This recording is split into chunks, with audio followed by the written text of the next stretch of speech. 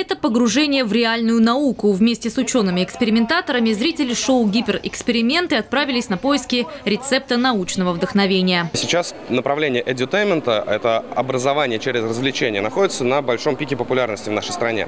И мы попытались э, сделать представление, которое с одной стороны, э, было бы привычным э, шоу, то есть имело выразительные средства, такие как световые эффекты, звуковые эффекты, видеоэффекты, и добавить туда, как одно из главных выразительных средств, большие научные демонстрации. Главный девиз шоу – настоящие опыты должны быть огромными. Специально для научно-популярного спектакля были разработаны уникальные экспонаты и реквизит.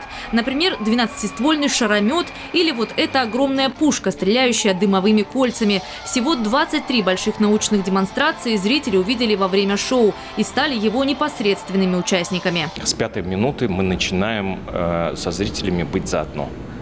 У нас конверсивное э, шоу, где э, все, что происходит на сцене, постепенно э, или частично перемещается в зрительный зал. Такие эксперименты не покажут в школе. Программа разработана специалистами ведущих вузов.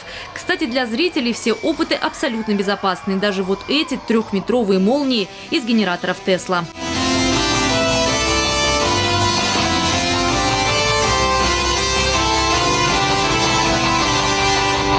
Сочи стал девятым городом, принимающий большой фестиваль науки «Вау-хау». За пять лет его уже посетили 300 тысяч человек.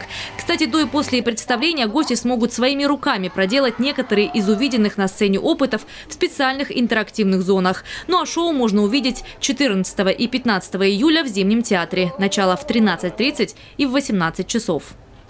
Ольга Десятого, Михаил Дубинин, телекомпания «ФКТ».